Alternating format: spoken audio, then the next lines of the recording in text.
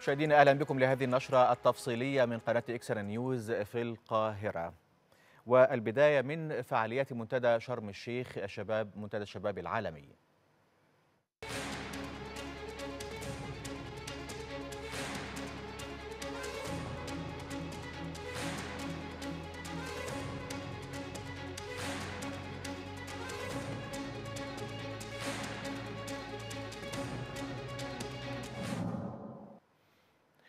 أكد الرئيس عبد الفتاح السيسي أن جائحة كورونا كانت بمثابة تحد عظيم قابل الإنسانية في العصر الحديث. وفي كلمته في الجلسة الرئيسية لمنتدى شباب العالم بعنوان جائحة كورونا إنذار للإنسانية وأمل جديد شدد الرئيس عبد الفتاح السيسي على أن الجائحة شكلت تحديات مركبة كبيرة خلال العامين الماضيين. الحقيقة خلينا نتكلم على مقدمة خاصة بجائحة كورونا. والحقيقة هو هو تحدي عظيم قابل الإنسانية في العصر الحديث. والحقيقة أيضا إنها شكلت يعني تحديات مركبة سياسية واقتصادية واجتماعية كبيرة جدا جدا خلال الفترة اللي هي فترة السنتين اللي مروا دول. إحنا دايما نقول إن في كل محنة تولد منحة لأن طبعا التداعيات اللي أفرزتها الجائحة حتى الآن إحنا بنتكلم على توقف قطاعات كاملة خلال السنتين اللي فاتوا في كتير من الدول. في دول عملت إغلاق كامل لكل المناحي الحياة اللي عندها. في قطاعات توقفت تماما زي قطاع النقل والطيران والسياحة يمكن وقطاعات أخرى تضررت بشكل أو بآخر. كنا متصورين إن حجم الضرر هيبقى عدة آلاف. أنا بتكلم على الخسائر سواء كان بالإصابات أو من خلال من يعني فقدناهم في العالم كله. قلنا هيبقى عدة آلاف. فوجئنا إن هم الإصابات بتتجاوز الملايين ثم عشرات الملايين ثم مئات الملايين. نفس الكلام بشكل أو بآخر كان بالنسبة لي من يعني فقدناهم في الجائحة. برضو بنتكلم على عدة ملايين. في هذا السياق أكد الرئيس عبد الفتاح السيسي أن المبادرات الرئاسية التي نفذتها مصر في مجال الصحة ساهمت بشكل كبير في تقليص أعداد الإصابات والوفيات بفيروس كورونا في البلاد. نتكلم الأول على الموضوع الخاص بقطاع الصحة. من 2017 و18 و19 كانت الدولة المصرية بتطلق مبادرات. المبادرات دي كان الهدف منها أن هي تدخل في ملفات الصحة العامة في مصر. وكان على رأسهم الفيروس سي. ولما عملنا البرنامج ده واتحركنا فيه كنا برضو متحركين عشان نشوف كمان نعمل مسح كامل للأمراض غير السرية المتمثلة في الأمراض السكر والضغط والسمنة. الكلام ده اللي إحنا عملناه مبكرا وخلانا بفضل الله سبحانه وتعالى قدرنا إن إحنا بعد ما كنا من الدول الأكثر إصابة بفيروس الفيروس سي بقينا بنقدر نتكلم عن نفسنا دلوقتي وبشهادة منظمة الصحة العالمية إن إحنا من الدول الأقل إصابة بهذا الفيروس. أنا كنت عايز أتصور مع أو نتصور مع بعضنا البعض لو كانت مصر واجهت الجائحة ديت بهذا الحجم من المصابين بهذا المرض تتصوروا كم في المية من المصابين كان ممكن إحنا نفقدهم أثناء الجائحة. 10% 20% من المصابين. سواء كانت ال ال الأمراض اللي هي اللي زي ما بقول كده المزمنة أو الفيروس سي. اللي أنا عايز أقوله باختصار إن الإجراءات اللي عملناها كمبادرات صحية في مصر أفرزت إن إحنا قدرنا اولا نبقى نشوف الخريطة الخريطة الصحية للمصريين بشكل قوي. وأيضا نتخلص من أمراض كانت موجودة معانا في مصر وكان أكيد هيبقى لها تأثير سلبي جدا أثناء تصدينا لهذه الجائحة. خرجنا في خلال ال 18 و 19 تقريبا من ال من ال من المسح ده ومن المبادرات دي بقدرة صحية لا بأس بها. دي اللي إحنا دخلنا بيها وتعاملنا بيها مع الكوفيد 19 يعني. طيب ده فيما يخص القطاع الصحي في مصر. لمزيد من المتابعة ينضم إلينا من شرم الشيخ مراسلنا محمد أبو عيطة محمد إذن افتتاح كبير كلمات كثيرة قيلت في اتجاهات متعددة أبرزها كلمة السيد الرئيس اليوم ومشاركات متعددة من شخصيات كبيرة حول العالم. لكن اللافت ربما هو نوعية المشاركين في هذا المنتدى من خارج مصر. يعني متخصصون من الشباب في مجال البيئة وفي مجال حقوق الإنسان وأتوا لإثراء التجربة التي لديهم في بلدهم. كيف لاحظت ذلك؟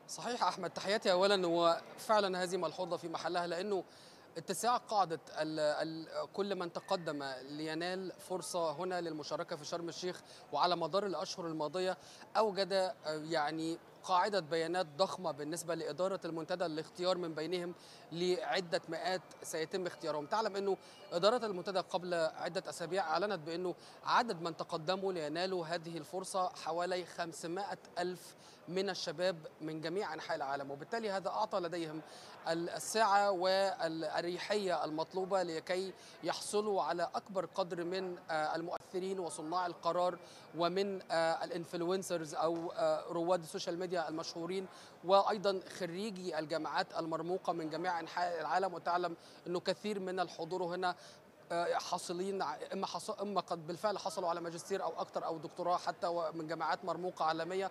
وبالتالي لكي يكون يعني كل من يحضر إلى هنا لكي يكون إضافة ولكي يكون قادرا على بالفعل أن يعني يدلي بدلو في أي مسألة تعرض عليه. تعلم أنه يعني خطورة وأهمية ودقة الملفات المطروحة على أجندة هذا المنتدى تجعل من اختيار العناصر التي يتم دعوتها إلى هكذا منتدى هي العنصر الأهم ليس فقط اختيار الأجندة ولكن من سيتحدث ومن سيشارك في ورشات العمل ومن سيعد الأجندة التحضيرية للمنتدى وأيضا من سيشارك برأيه في السجالات والنقاشات المستمرة على مدار الأربعة أيام التي يعني يمتد المؤتمر في المنتدى في نسخته الرابعة عبرها.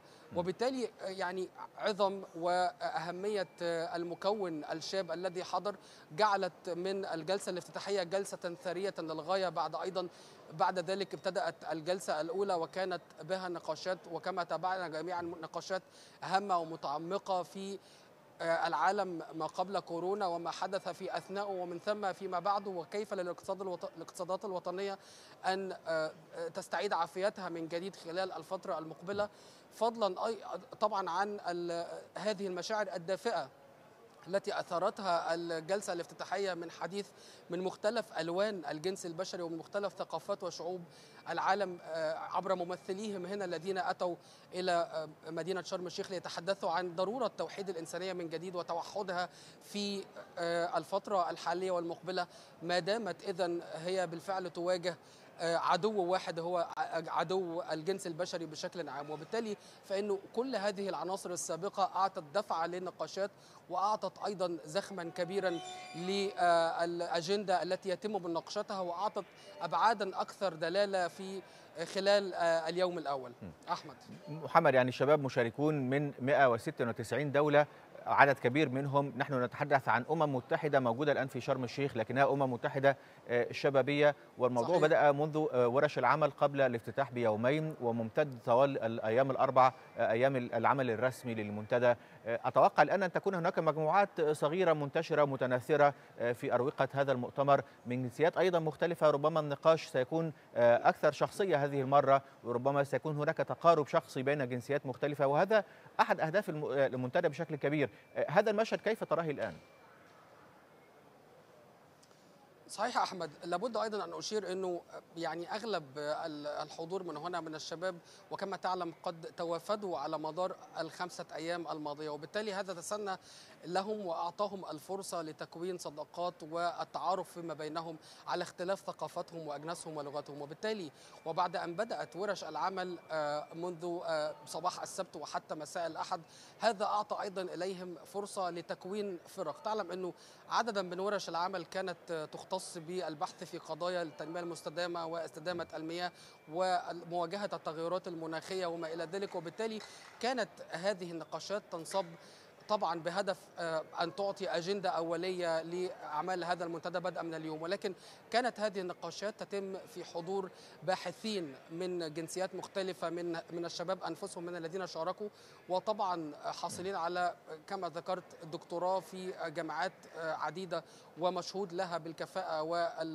والترتيب العالمي المتقدم. وبالتالي كل هذه النقاشات كان يجب لكي تؤتي ثمارها وتخرج بورقات عمل بحثية وتوصيات قابلة للتطبيق ووضعها موضع الاختبار بالفعل في الفترة المقبلة. كان لكي يحدث كل هذا كان لابد من تكوين فرق عمل بعد أن يعني تعرف الشباب من مختلف الجنسيات على بعضهم. أشير أيضا إلى أنه بعض من الشباب المشاركين كان قد سبق لهم إما أن شاركوا في واحدة من الفعاليات في مصر في أوقات سابقة وإما أيضا كانوا قد شاركوا في نسخ سابقة من منتدى شباب العالم وتعلم أنه بدأ في العام 17 واستمر في 18 و19 ثم توقف لبعض الوقت حتى هذه النسخة. أيضا فإنه خلال هذه النسخة وكما تعلم فإنه يعني مسرح النقاش وحلقة النقاش لن تتوقف هنا عند شرم الشيخ. ولكن أيضا كما تابعنا في الصباح الباكر فإنه هناك عديد من الضيوف من مسؤولين رفيعي المستوى قد أدلوا بكلماتهم الافتتاحية من خلال كلمات فيديو مسجلة ومشاركات حية عبر تطبيقات الإنترنت وبالتالي هذا أعطى طبعا يعني منحى آخر للتأثير وللحصول على آراء لأكبر عدد ممكن من المختصين بالفعل. وصناع القرار والمسؤولين في جميع دول العالم بالفعل محمد يعني هذا المؤتمر هو أحد محفزات آه، النقاش. العالمية آه. نعم بشكرك جدا مراسلنا محمد أبو عيطة الموجود الآن في منتدى الشباب العالمي في شرم الشيخ. ونذهب مباشرة إلى زميلتنا جاكلين ماهر مراسلتنا في هذا المنتدى. جاكلين الآن المؤتمر في حالة استراحة ربما ستبدأ الفعاليات المسائية بعد بعد قليل. يعني هناك بالتأكيد الكلام يعني كثير لديك جاكلين تفضلي. تحياتي مشاهدينا الكرام في متابعة لفعاليات منتدى شباب العالم في يومه الأول بعد افتتاح سيادة الرئيس عبد الفتاح السيسي للمنتدى صباح اليوم في الجلسة الافتتاحية اللي شهدناها بحضور عدد كبير من رموز الدولة الدول المشاركة أو الدول التي كانت ضيوف شرف لهذا المنتدى والمنتدى ومشاركة كبيرة من أكثر من 2000 شاب وفتاة من 196 دولة إفريقية وأسيوية وأوروبية ومن أمريكا الشمالية وأمريكا الجنوبية. بنتحدث عن ردود أفعال إيجابية كبيرة لهذا المنتدى وتحديدا في لعدد من الإجراءات اللي تم اتخاذها على أرض الواقع سواء على مستوى الإجراءات الاحترازية والإجراءات التنظيمية والتسهيلات التي قدمت للوفود التي شاركت في هذا المنتدى. وأيضا ردود فعل إيجابية من الموضوعات التي تطرح في هذا المنتدى والجلسات اللي بتتم على مدار ثلاثة أيام للمنتدى بالإضافة إلى ورش العمل التي شاهدناها قبل يومين من انطلاق المنتدى. كان أمس وأول من أمس. بنتحدث عن اليوم. في صباح اليوم افتتح سيادة الرئيس عبد الفتاح السيسي المنتدى بإطلاق الفعاليات مختلفة على مدار الجلسة الافتتاحية وكان بحضور عدد من رموز والشخصيات العامة منهم الرئيس الفلسطيني محمود عباس وأيضا ولي عهد الأردن ورئيس الحكومة اللبنانية وأيضا عدد كبير من السفراء وعدد من صناع القرار والشباب كما ذكرنا بيمثلوا عدد كبير من الدول والثقافات المختلفة. أيضا كان هناك في داخل الفعاليات يعني كلمة ترحيبية لأول روبوت مصري قدم ترحيب للحضور والضيوف وهذا بيعكس يعني قدرة القدرة المصرية والصناعة المصرية في صناعة الروبوتات وصناعة التكنولوجيا والتي تقدم والتي تكون قادرة على يعني أن تكون مشاركة في مثل هكذا يعني فعاليات دولية وطبعا واللي شاهدناها من خلال الروبوتات التي تقدم الخدمات للحضور والمشاركين والوفود سواء كان على مستوى التعقيم أو على مستوى يعني تسهيل أو تقديم الخدمات المختلفة. أيضا شاهدنا كلمات افتتاحية عبر خاصية الفيديو كونفرنس من خلال كلمة للأمين العام للأمم المتحدة أنطونيو جوتريش وأيضا رئيس منظمة الأمم المتحدة عفوا رئيس منظمة الصحة العالمية وأيضا مبعوث الأمين العام للأمم المتحدة للشباب وأيضا رئيس البنك أو رئيس مجموعة البنك الدولي. عدد كبير من الكلمات التي دارت هذه الكلمات عن جائحة كورونا وكيف واجه العالم جائحة كورونا وتأثير جائحة كورونا على البشرية وعلى العالم بشكل عام. أيضا كان هناك فيديو أو عفوا كان هناك فيلم تسجيلي عن جائحة كورونا وتأثيرها على العالم والعالم قبل الجائحة وبعد الجائحة. وكيف ينظر العالم الآن إلى يعني آلية التنمية وأدوات التنمية بعد جائحة كورونا؟ أيضا كانت هناك يعني فعاليات على من خلال استحضار من خلال فعالية للواقع الافتراضي ويعني فعالية شاهدناها من خلال استحضار استحضار نماذج ملهمة من الماضي وهذا بيعكس يعني تعدد الثقافات والحضارات ومصر تحتضن كافة الثقافات والحضارات وشاهدناها في هذه الشخصيات مثل أينشتاين والأم تريزا وأيضا ابن رشد وهذا بيعكس ترابط الماضي بالحاضر بالمستقبل والرسالة التي يحملها المنتدى وهي رسالة السلام والقبول لكل الثقافات وكل الحضارات داخل يعني في المحيط. بنتحدث أيضا عن أن هذا المنتدى بينطلق على مدار ثلاثة أيام. هناك عدد كبير من الجلسات على مدار ثلاثة أيام. أيضا يعني جدير بالذكر كان هناك يعني جلسة أخرى هي الجلسة الأساسية وبتتحدث عن جائحة كورونا وتأثيرها على الإنسانية. ويعني كيف بيكون الأمل بعد الجائحة؟ وكانت هناك عدد من المشاركات من رؤساء الدول الإفريقية وتحديدا الدول الإفريقية كانت هناك مشاركة كبيرة. وأيضا استعرض سيادة الرئيس عبد الفتاح السيسي خلال هذه الجلسة يعني جهود مصر وكيف كانت لمصر خطوات جادة واستراتيجية قوية تجاه التنمية وإقامة المشروعات القومية بالتزامن مع الحفاظ على سلامة المواطنين واتخاذ كافة الإجراءات الاحترازية في الوطن وفي مصر. بنتحدث أيضا عن أن في الثامنة مساء اليوم سيفتح مسرح شباب العالم وطبعا ستقام عليه عدد من الاحتفاليات والثقافات وبيكون تحت شعار شعار الثقافة والفنون. هو جزء من التنمية لا تنمية بدون ثقافة وفنون وهي يعني حق من حقوق الإنسان. ربما هذه هي تفاصيل اليوم الأول من استضافة منتدى شباب العالم واستضافة شرم الشيخ لمنتدى شباب العالم وأعلن في النهاية سياده الرئيس في كلمته أن أصبح هذا المنتدى هو منصة دولية يناقش كافة القضايا ويناقش كافة الموضوعات الهامة التي تهم المجتمع وتهم العالم والشباب بشكل خاص. وأيضا هو يعني أن الشباب هو عنصر أساسي في حل أي من التحديات التي تواجه التي تواجه المجتمعات. ربما هذه هي أبرز التفاصيل والآن الكلمة تعود إلى الاستوديو. شكرا لك جاكلين ماهر. وفي كلمة الرئيس أمام الجلسة الافتتاحية لمنتدى شباب العالم في نسخته الرابعة أكد الرئيس عبد الفتاح السيسي أن برنامج الإصلاح الاقتصادي الذي تنفذه الحكومة ساهم بشكل كبير في تجنيب مصر الكثير من التداعيات السلبية لجائحة كورونا مشيرا إلى أن الدولة اتخذت نهجا خلال الجائحة يستهدف الحفاظ على معدلات العمل بالمشروعات القومية مع الالتزام بالإجراءات الاحترازية. فيما يخص الاقتصاد إحنا بدأنا في نوفمبر 2016 برنامج للإصلاح الاقتصادي. وأتصور إن إحنا لو ما كناش أطلقنا هذا البرنامج واللي كان فيه قسوة شديدة علينا كمصريين أنا بتكلم على الشعب والرأي العام في مصر. أتصور إن إحنا كان هيبقى موقفنا لو ما كناش عملنا هذا البرنامج إن كان هيبقى تداعيات الموقف الاقتصادي في مصر أكتر كتير. لو ما كناش عملنا هذا البرنامج.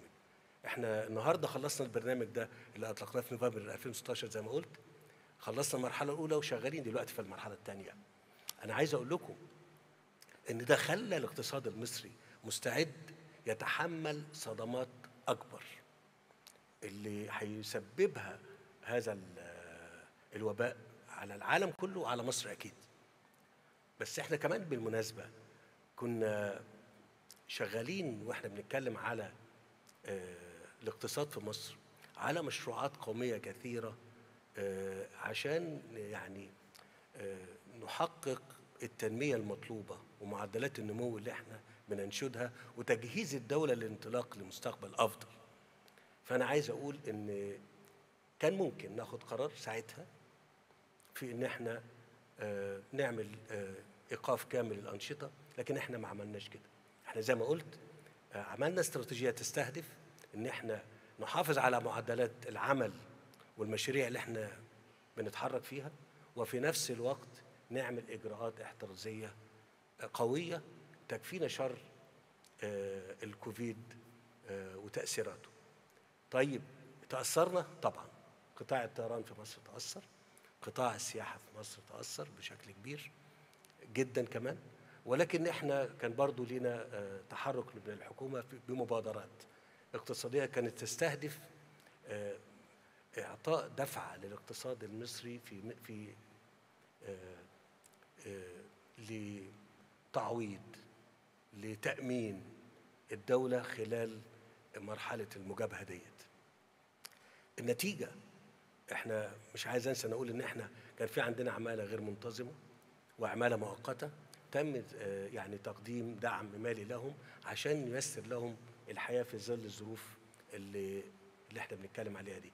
لكن لم تتوقف مشاريعنا وإجراءات العمل في مصر قبل وأثناء وحتى الآن.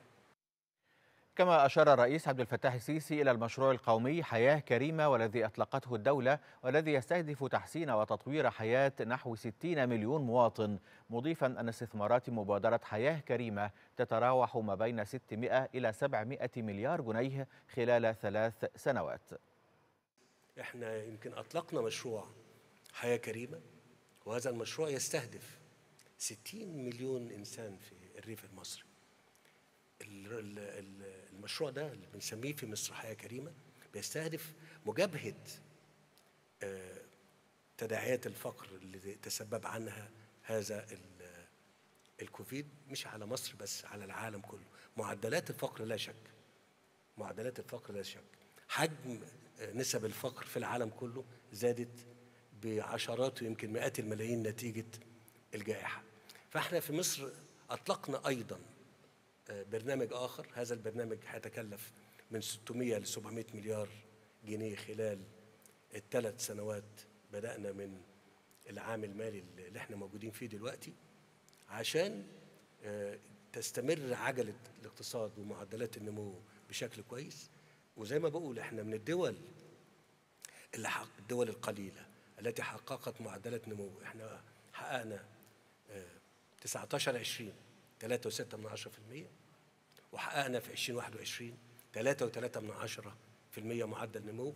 وأنا أتصور إن في دول كثيرة جدا لم تستطيع أو دول لم تستطيع أن تحقق هذا الأمر. الخلاصة اللي أنا عايز أقولها في تجربتنا مع الكوفيد كوفيد اللي أنا بقول عليه في بداية الكلام إن هو قد تكون محنة ولكن المحنة دي ممكن تتولد منها منح كثيرة جدا جدا. وأتصور إن في قوة دفع هائلة اتشكلت في مجال البحث العلمي وفي مجال التعامل مع آه، اللقاحات والمنظومات الصحية اللي هي بشكل أو بآخر آه، كان اختبار شديد لها آه، الجائحة في العالم كله نتبادل الخبرات نتبادل الرؤى في إزاي إن إحنا ننظم ونطور منظوماتنا الصحية عشان تكون أكثر فاعلية في التعامل مع مثل هذه الأزمات. دي أنا عايز أقول دي التجربة المصرية وأتصور إن كل دولة بيبقى ليها خصوصية في مسارها والتعامل مع ال ال مثل هذه الأزمات طبقا لعوامل واعتبارات أتصور إنها بتمثل خصوصية لكل دولة من الدول مع إطار عام بيجمعنا بالكامل. في النهاية أنا عايز أقول لكم على حاجة أنا دايما أبص على موضوع الفيروس ده وأقول وكأنه يعني بيرسل لنا رسالة يقول أيها البشر انتبهوا أنتم لستم قادرين على تحدينا. وسريعا نذهب إلى شرم الشيخ وهذا اللقاء الذي أجرته الزميلة دانا مدحت مع محمد مجدي بدران عضو حزب مستقبل وطن وذلك على هامش منتدى شباب العالم في نسخته الرابعة. نتابع.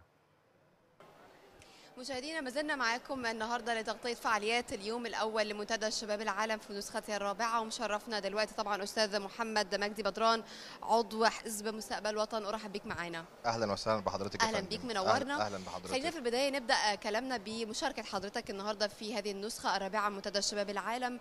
آه، شايف حضرتك المشاركة الدولية عاملة إزاي؟ خاصة في العديد من الدول المشاركة ليس فقط طبعا على المستوى العربي أو حتى الإفريقي لكن أيضا على المستوى الإقليمي والدولي. بداية أنا برحب بحضرتك وبقناة اكسترا نيوز وبكل السادة المشاهدين اللي بيشوفونا دلوقتي.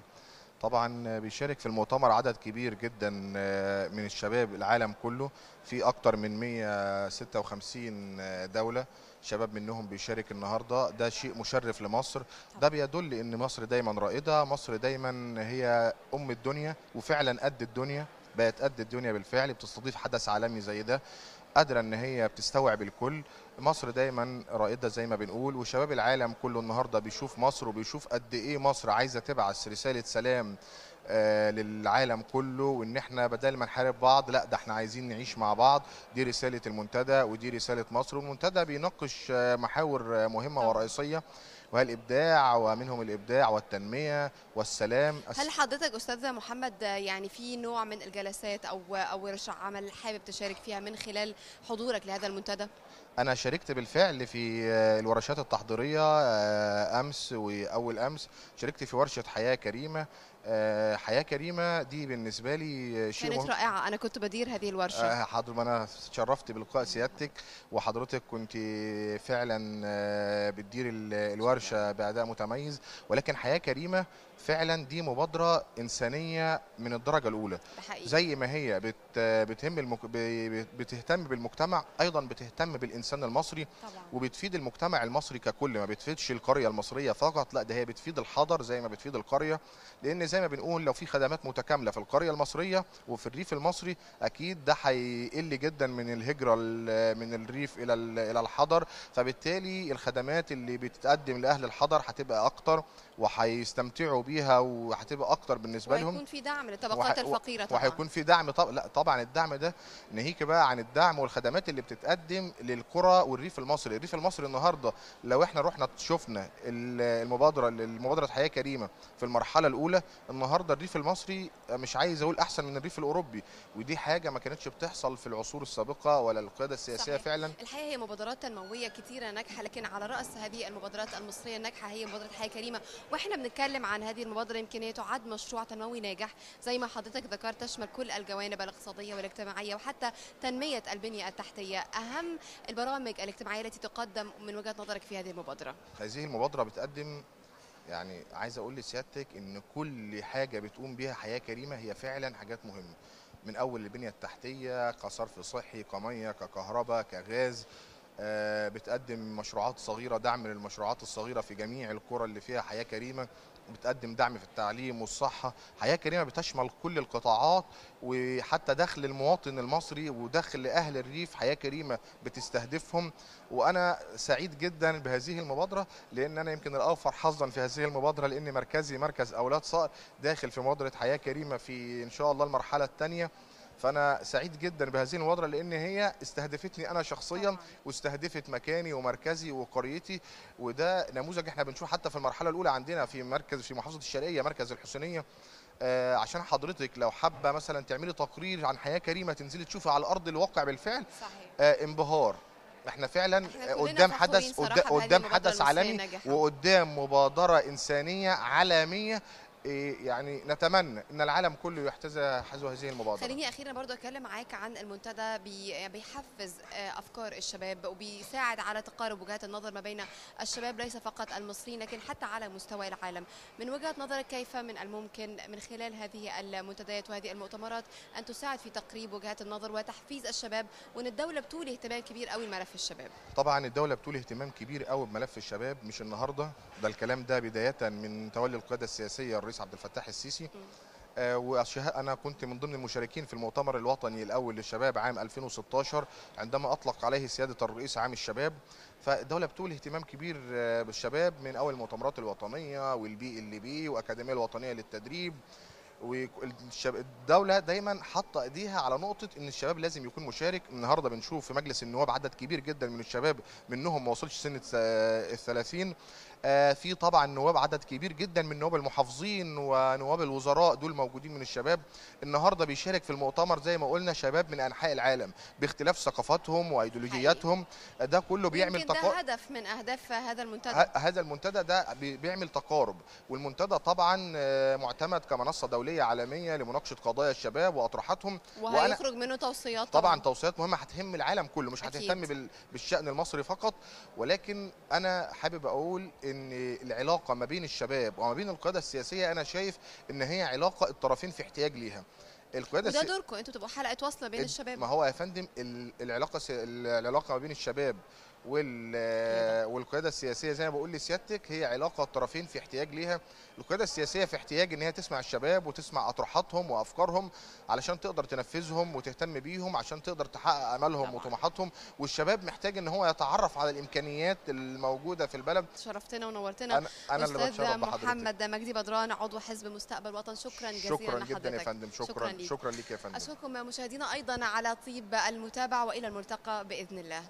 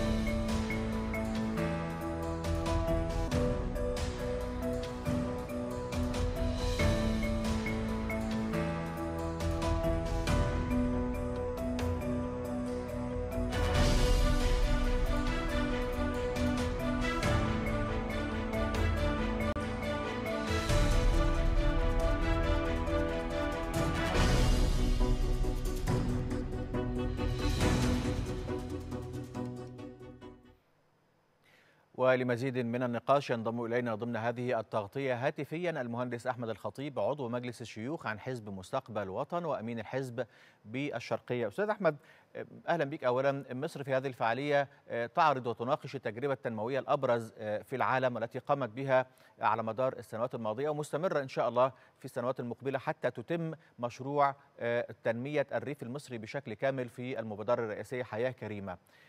أهمية أن يتم عرض هذه التجربة وتناقش تباعا والآن تحديدا مع شباب العالم. مساء الخير الأول على حضرتك وعلى السادة المشاهدين جميعا. الحقيقة طبعا هي رسالة رسالة قوية جدا من مصر لكل العالم إن الحمد لله برغم الظروف الصعبة اللي بتمر بيها مصر مرورا من 2011 واللي حصل في البلد والحمد لله عادت البلد إلى المسار الطبيعي وجائحة كورونا طبعا فدي رسالة قوية جدا جدا جدا للعالم. آه، طبعا بنتكلم فيها على مبادرة سيادة الرئيس تحديدا والمبادرات كثيرة طبعا الجميلة اللي بها سيادة الرئيس. آه، حياة كريمة ودي تعتبر مشروع القرن. آه، آه، لأنه موضوع ضخم كبير جدا جدا إنه في فترة محددة إن كل الريف المصري يوصل بالدرجة الجميلة اللي إحنا شفناها في المراحل اللي تم تنفيذها بالفعل فدي رسالة قوية جدا إن الحمد لله مصر بقيادة آه، السيد الرئيس آه، عبد الفتاح السيسي في الطريق الصحيح والحمد لله في تقدم وواضح و- و- وجلي للجميع يراه آه، رؤى العين يعني. مهندس أحمد لو أنت الآن موجود في شرم الشيخ في هذا المنتدى آه، تعرض آه، تجربة آه، تنمية الريف المصري في الشرقية في محافظة الشرقية حيث تنتمي حضرتك.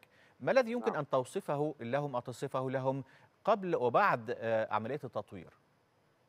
بص حضرتك هو هو الحقيقة ما فيش وجه مقارنة خالص بين قبل وبعد. يعني واعتقد إنه ال- العرض اللي تم في أكثر من مرحلة كان وضح الكلام ده لأن الحمد لله اتنقلت القرى نقلة آه، آه، آه، مختلفة بشكل قوي جدا حاجة راقية وحاجة جميلة. يعني أنا شخصيا لما بصيت على الموضوع طبعا إحنا شفناه قبل ما يتم ولما شفناه في مراحل التنفيذ اللي موجودة بجد حاجة مبهرة حاجة يعني أنا شخصيا ما كنتش متوقع كمواطن مصري إن أنا ممكن أشوف الرقي وال- وال- والجمال اللي أنا شفته في الريف المصري. كيف يمس تطوير الشباب الآن ومستقبلا؟ نعم فندم. كيف يم- يمس هذا التطوير ال- الشباب تحديدا الآن ومستقبلا؟ هو بص حضرتك هو هو طبعا إحنا لو هنتكلم بقى على الشباب إحنا بن- بنتكلم في المنتدى اللي اللي اللي دي تقريبا النسخة الرابعة منه النهارده. السنة دي بتتم. في الوضع اللي حضرتك شايف ده برغم إن كل دول العالم آه، آه، يعني مع مش منفتحين بالشكل اللي إحنا فيه ده وإن إحنا نستقبل أكثر من 15000 شاب وشابة من أكثر من 160 دولة. فأعتقد إنه كمان اعتماد ال- ال- المنتدى كمنصة من من الأمم المتحدة آه، لل- يعني ده ذات حد ذاته أعتقد أبلغ رسالة إن إحنا ممكن نت- نتكلم فيها يعني إنها تكون منصة آه، دولية لمناقشة قضايا الشباب آه، أعتقد ده ده في حد ذاتها أبلغ رد يعني. لكن بالنسبة لنا إحنا طبعا زي ما إحنا شايفين إن سيادة الرئيس آه، منذ أن تولى المسؤولية وهو بكل اهتمامه بالشباب وشفنا طبعا بسم الله ما شاء الله طبعا إعداد الشباب اللي تم والنهاردة بنشوفهم آه، في مناصب قيادية اللي موجود في آه، آه، نواب محافظين أو نواب وزراء أو بسم الله ما شاء الله بنشوفهم معانا في مجلس النواب ومجلس الشيوخ. حاجة مشرفة شباب معد اعداد آه، يدعو للفخر ونقول إن إحنا مصر بخير وإن بكرة ال- المستقبل للشباب. أعتقد إحنا عندنا نماذج كتير جدا على أرض الواقع آه، آه، شايفينها وبعدين في ميزة الحقيقة يعني عايز أقولها ان إن سياده الرئيس عودنا على حاجة جميلة قوي يعني قبل كده مع احترامي طبعا كل رؤساء الدول على على راسنا من لهم تقديرهم وحب- وحبنا لهم لأنه تعودنا إن إحنا كنا بنسمع كلام هنعمل هنعمل إلى إنه سياده الرئيس معودنا على حاجة جميلة جدا. أنا شخصيا كمواطن مصري فخور بيها إنه ما بيقولش هنعمل هو بيفاجئنا بإنه بالفعل على أرض الواقع الحاجات بتتنفذ سواء على المشروعات التنمويه سواء على مشروع الشباب أو حتى لو شفنا برضو موضوع تمكين المرأة. وتمثيلها بنسبة 25% في مجلس النواب. أعتقد دي كلها نماذج تقول للعالم كله إن مصر فعلا بالفعل. بفضل الله وربنا يحفظ بلدنا ويحفظ آه، آه، جيش بلدنا ويحفظ شرطتها وأمنها. لا إحنا الحمد لله تخطينا في وقت قليل جدا جدا جدا. كل العقبات وكل الأزمات اللي كانت موجودة. بفضل الله الحمد لله إن شاء الله ربنا يديمها علينا. وقريب جدا جدا هيبقى الوضع آه، جميل. وخاصة الناحية الاقتصادية أنا عارف إنه إحنا الفترة دي الدنيا صعبة علينا جدا لكن ده طبيعي. إحنا طالعين من أزمات منها 2011 ومنها آه، الكورونا. فأعتقد إن إحنا الحمد لله في آه، خطى جميلة وخطى ثابتة وخطى سريعة جدا جدا جدا. إن شاء الله قريب جدا هيظهر ده كله علينا. وإحنا الحمد لله زي ما زي ما قلت لحضرتك آه، ميزة سياده الرئيس إنه دايما بي- بيفاجئنا بالحاجة اتعملت. مش لسه هنعمل ووعود نقعد. منتظرينها سنوات وسنوات. بالتأكيد. مهندس أحمد مصر دولة شابة. وفي الدستور إتاحات كثيرة لمشاركات الشباب سياسيا سواء في البرلمان أو في غيرها. مشاركات واسعة أيضا للمرأة في البرلمان مثلا. هناك إتاحات لتدريب الشباب سياسيا لإخراج منتج شبابي بشري سياسي مؤهل للقيادة وهذا تم بالفعل. ورأينا نماذج من الشباب تقود العمل التنفيذي في عديد من المحافظات يؤهلوا في المستقبل إن شاء الله لأن يكونوا في الصف الأول. ووراءهم صفوف أخرى من الشباب تباعا. يعني هذه التجربة الشبابية الثرية المستمرة المتدفقة بالتأكيد لها حضور في شرم الشيخ وبالتأكيد هذا المؤتمر يتواكب مع هذا التكامل مع هذه التجربة المصرية الخاصة بتنمية الشباب الآن ومستقبلا. أيوه فندم كي... طبعا ما أنا ما أنا أنا بقول لحضرتك هو هو هو بالفعل إحنا عندنا النماذج دي إحنا شايفينها نماذج حية بالفعل موجودة ومتميزة ومشرفة. يعني النهارده إحنا بنشوف نماذج من شباب لأنه في فترة من الفترات حقيقي يعني أشعرونا بالإحباط إنه لأ الشباب بقى مش في دماغه الشباب بقى مستهتر الشباب ما عندوش انتماء الشباب ما عندوش لكن لأ الحقيقة إحنا في الوضع الراهن إحنا بقى مش بنتكلم بنقول هنعمل لأ إحنا بنقول إحنا بسم الله ما شاء الله. لو حضرتك جيت وشفت النماذج اللي موجودة من الشباب الجميل اللي تم إعدادهم في البرنامج الرئاسي والنهاردة موجودين في مجلس النواب أو مجلس الشيوخ بسم الله ما شاء الله بجد حاجة تدعو للفخر حاجة تخلي كل واحد مصري أصيل يفرح ويتمنى إنه يشوف ابنه بهذا الشكل. وحاجة تدعو إلى الطمانينه إن مصر مصر دائما بخير وده مصر دائما ولاده. مصر فيها نماذج مشرفة وفي كل مكان وفي كل موقع. عندنا نفس القصة زي ما قلت لسيادتك من شوية برضو. على مستوى نواب المحافظين أو نواب الوزراء أو كده. بسم الله ما شاء الله نماذج جميلة. وأنا الحقيقة يعني متفائل بها خير و و وإن شاء الله في انتظار كمان الأجيال الأخرى التي يتم إعدادها الظهور قريبا على الساحة في كل المناحي في تخص مصر إن شاء الله. نعم. مهندس أحمد يعني هناك تلاقي للأفكار في شرم الشيخ الآن بين الشباب المصري والشباب العالمي والشباب المصري يفخر بتجربته الموجودة طوال عدة أعوام في مصر بالتأكيد مشروع كحياة كريمة مثلا حين يعرض على شباب عالمي وسمعنا منهم ذلك منذ قليل أو في الأيام السابقة أيضا في خلال ورش العمل. هناك ما نفخر به بالفعل أننا قدمنا تجربة إنسانية تنموية ثرية يحتذي بها كثير من الدول. في الجعب الكثير يعني كيف تتوقع أن تكون أن يكون المستقبل بناء على ما تم من تنمية ونحن في إطار المرحلة الثانية من الإصلاح الاقتصادي وستكون مرحلة هيكلية في هذه الحالة؟ حضرتك أنا أنا بقول لحضرتك وأنا واثق تماما إنه إنه الوضع في تحسن شديد وقريبا جدا جدا جدا هيبقى هيظهر ده على على كل المستويات. وزي ما سمعنا سياده الرئيس في أحد اللقاءات قريبا القريبة اللي كانت موجودة إنه إنه بيقول أنا أنا نفسي أشوف مرتبات الناس البسطاء تصل إلى 15 و20 وأنا عارف كويس جدا سياده الرئيس لما بيتكلم في حاجة بيبقى دارسها كويس جدا وعارف إنه يستطيع بفضل الله إنه يحققها فإحنا النهارده الوضع اقتصاديا آه أنا أنا عارف إن هناك بعض المشكلات التي تعاني منها ولكن ده شيء طبيعي جدا نعم. شيء طبيعي جدا يعني لو لو بصينا مع احترامي أنا اسف يعني بنتكلم تاريخ الثورات ما فيش ابدا بلد تقدر تتعافى الفترة الوجيزة اللي إحنا بفضل الله سبحانه وتعالى دي قدرنا نعم. نقف على رجلينا وقدرنا نمشي في المسار الصحيح ولكن هناك أولويات وعملية الإصلاح التي تتم حاليا هي كان لابد منها وكان لابد منها من فترة طويلة ولو كانت تم تنفيذها من فترة طويلة أعتقد ما كناش حسينا بالمعاناة اللي موجودة دلوقتي. وقياسا في تجارب الدول المهندس أحمد نحن نحقق قفزات في التنمية الحمد لله لا يوقفنا أي عائق كجائحه كورونا مثلا. بشكرك جدا ضيفنا عبر الهاتف المهندس أحمد الخطيب عضو مجلس الشيوخ عن حزب مستقبل وطن وأمين الحزب في الشرقية. أذهب مباشرة إلى سيادة النائب المحترم أبو النجا المحريزي عضو مجلس الشيوخ عن حزب مستقبل وطن. سيادة النائب يعني بالتأكيد هناك احتياج لكثير من مؤتمرات الشباب الآن في هذه الفترة تحديدا لأن الشباب هم قوام الدولة المصرية أكثر من 75% من سكان مصر من الشباب. فبالتالي نحن نحتاج إلى دفق أكثر لأفكار الشباب والتعامل معهم والت- والتحاور معهم في الفترة المقبلة لأنه بالتأكيد ما يحدث الآن هو آه، توطئة وتحسين لمستقبل الشباب الآن وفي المستقبل أيضا. اولا اسمح لي أنا بشكركم على تناول هذا الموضوع. الشباب سياده الرئيس هم كل الح... هم الحاضر وكل المستقبل. والحوار مع الشباب ده معناه إنك دمج بين أفكار الشباب والشيوخ. بالإضافة إنه لابد أن يعرف الشباب ماذا يحدث في مصر. مصر النهارده بتمر بمرحلة آه، لم تحدث في تاريخها من تقدم وتنمية وتطوير.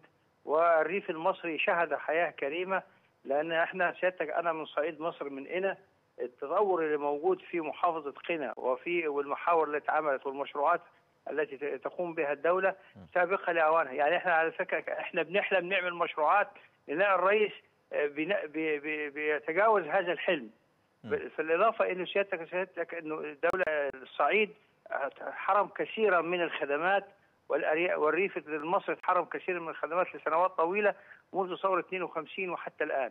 المشروعات التي تقوم بها الدولة في صعيد مصر وفي ريف مصر تمثل حوالي أكثر من 60% من شعب مصر. صحيح. وشباب العالم لازم أن يع- أن يعرف أن مصر الآن رغم الظروف وجائحة كورونا والظروف الاقتصادية التي تحيط بالعالم إلا أن مصر تتقدم تقدم سريع جدا.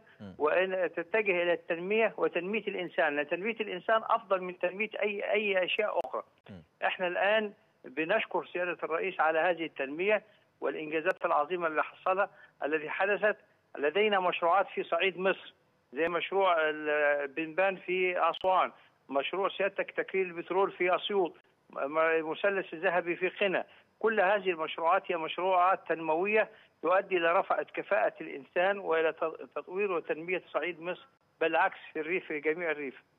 كل سي- التحية سيادة والتقدير. سيادة النائب كيف ترى مستقبل الشباب في الصعيد الآن؟ يعني الصعيد خلال السنوات أو العقود حتى الماضية كان طاردا للسكان بهذه المشروعات وخاصة آه، والخاصة بالشباب وبتنميته والتي تريد سواعد شباب حتى آه، تنجح هذه المشروعات وتدار وتستكمل ويخرج منها الخير. فبالتأكيد لن يعود الصعيد طاردا للسكان كما كان. هل هذا إحنا صحيح؟ محافظاتنا وخصوصا محافظة قنا من المحافظات الفقيرة التي فقيرة في في مواردها. وكانت محافظات طاردة طاردة إلى دول الخليج طاردة للعمل في في القاهرة الكبرى لكن الآن بفضل مجموعة المشروعات مجموع المشروعات التي تقوم بها الدولة أصبحت النا- ال- ال- الش- أصبح الشباب مرتبط بالأرض ومرتبط ببلده ويحاول المشاركة في هذه المشروعات. وبالتالي إحنا بعد فترة وجيزة إن شاء الله خلال ثلاث سنوات سوف تكون سوف تكون محافظات الصعيد ليست طاردة للسكان وإنما جاذبة للسكان. وإحنا بنحيي الدولة المصرية بقيادة الرئيس على اهتمامه بنا بعد سنوات كثيرة لأن إحنا حقيقه افتقدنا التنمية في في معظم فتراتنا. وهذه التنمية أدت إلى إن إحنا كنا بنقول إحنا مش جزء من مصر وإنما إحنا ناس اولا مهملين في كل خدماتنا. وكان النواب عليهم مسائل صعبة جدا. الآن النواب مش لاقيين حاجة يقولوها. لأنه كل حاجة متوفرة. وإحنا بلادنا فيها بلادنا إحنا كائنه فيها إنتاج القصب السكر والسكر وبالتالي لدينا مشاكل في في مخلفات قصب السكر. وإحنا بنطالب القيادة السياسية أن يكون هناك زي ما حلوا مشكلة قش الرز لابد أن تحل مخلفات قصب السكر وإنتاج ووجود مصانع لهذه المخلفات وده يؤدي إلى التنمية وتشغيل الشباب. كل هذه الأمور يعني هقول لسيادتك حاجة. إحنا لم نكن نحلم في يوم من الأيام إنه الغاز الطبيعي يبقى موجود في الريف في صعيد مصر لم نكن نحلم إنه في يوم من الأيام النت لأن إحنا في فترات سيادتك أيام الامتحانات كان النت قطع والأولادنا أبنائنا في الامتحانات. تسببت لهم مشاكل كثيرة إلا أن هذا الأمر سوف يتغلب عليه في السنوات القادمة نعم. الأمر الآخر سيد الرئيس إحنا آه، سيادتك كنا كنا سيادتك ما لا يوجد عندنا غاز سواء غاز. آه، انابيب غاز أو مشكلة الغاز الآن عندنا غاز طبيعي يعني بيوصلوا لنا الغاز الطبيعي في قرى. وريف مصر. تحية تقدير لكل من يساهم في في تنمية صعيد مصر وخصوصا محافظة قنا. بشكرك سيادة النائب أبو النجا المحريزي عضو مجلس الشيوخ عن حزب مستقبل آه، وطن. إلى شأن آخر حيث استقبل رئيس مجلس الوزراء الدكتور مصطفى مدبولي رئيس الحكومة اللبنانية نجيب ميقاتي وذلك على هامش مشاركته في الدورة الرابعة من منتدى شباب العالم في مدينة شرم الشيخ. وتطرق مدبولي خلال اللقاء إلى متابعة الملفات الخاصة بتعزيز التعاون في مجال تصدير الغاز وسبل تحقيق الربط الكهربائي بين البلدين ليتسنى إمداد لبنان بالكهرباء. فضلا عن تسهيل حركة التبادل التجاري لا سيما فيما يتعلق بالمنتجات الزراعية اللبنانية وتزويد لبنان بالمساعدات الغذائية والإنسانية. من جانبه تقدم نجيب ميقاتي بالشكر للرئيس عبد الفتاح السيسي ورئيس مجلس الوزراء ولأعضاء الحكومة على الرغبة والجهود الصادقة في الوقوف بجانب لبنان في أوقات المحن والشدائد. وفي ختام اللقاء وجه الدكتور مصطفى مدبولي بالاستمرار في تقديم كافة سبل الدعم الممكنة لدولة لبنان.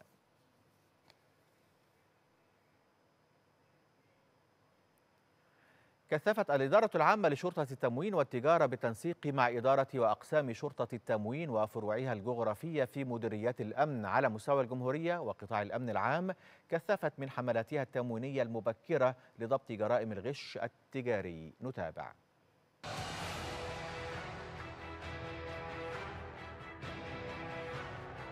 تشهد المواجهات التي تخوضها أجهزة وزارة الداخلية ضد جرائم غش السلع وبيع سلع منتهية الصلاحية والتلاعب بالدعم نجاحات كبيرة.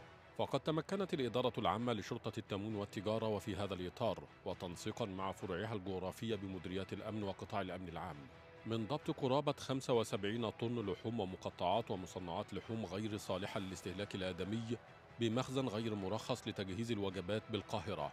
وثلاجة بدون ترخيص لحفظ اللحوم بالمنوفية وضبط أكثر من 203 طن مخللات ومستلزمات إنتاجها غير صالحة للاستهلاك الآدمي وتشكل خطرا على الصحة العامة للمواطنين بثلاثة مصانع ومعمل بدون ترخيص لإنتاج وتعبئة المخللات بالبحيرة والشرقية والمنوفية وضبط قرابة ثلاثة أطنان أسماك غير صالحة للاستهلاك الآدمي بمحل بدون ترخيص لتجارة السلع الغذائية بالقاهرة.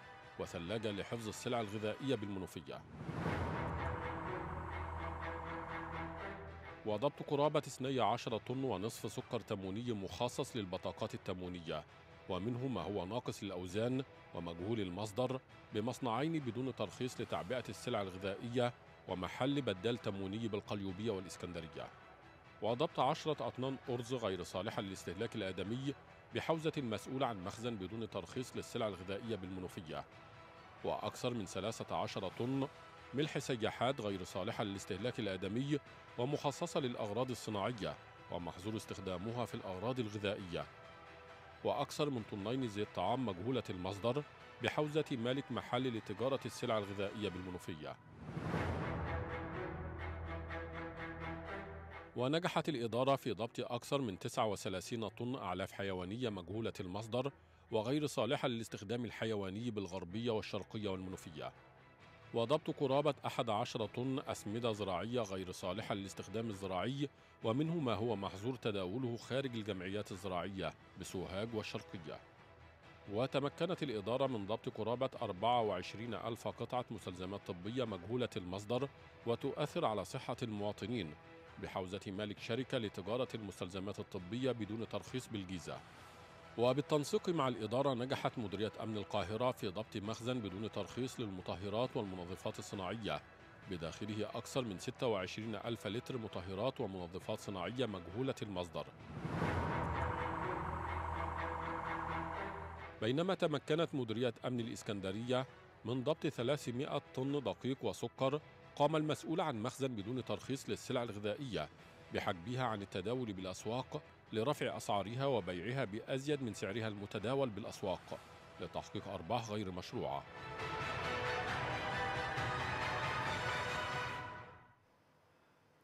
ختام هذه الجولة الإخبارية مشاهدينا شكرا لكم على طيب المتابعة. هذه تحياتي أحمد بشتو إلى اللقاء.